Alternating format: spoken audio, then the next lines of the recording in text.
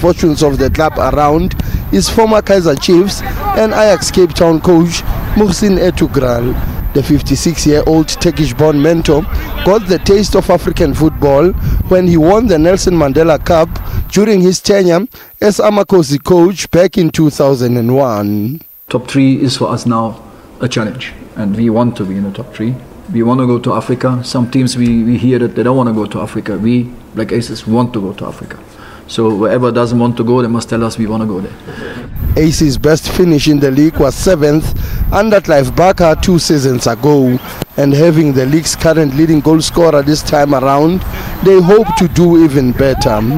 For now, I'm not thinking about top scorer and white. You know, that's I'm gonna see maybe uh, last game that thing. But I just want the team to hanging there. You know, number two, number three, number one. You know, anything can happen. Aces' next match is against Orlando Pirates on Sunday before they face log leaders Sundowns next Wednesday. Sfeso Ramara, SABC News, Johannesburg.